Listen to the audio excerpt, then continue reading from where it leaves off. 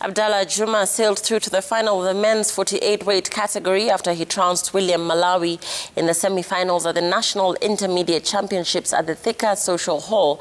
Juma, who hails from Mombasa, will face off against Chris Murungaru from Nyandarua in the middleweight category. Nick Okwaro upstage David Ochieng from Nairobi and will face David Odhiambo from Kajiado who was triumphant against James Ouma from Kisumu.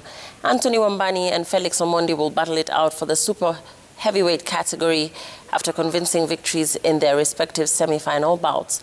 James Kanyi from Kiambu will be eyeing Tufel Halifa and Derito in the bantamweight category. The championships conclude on Saturday.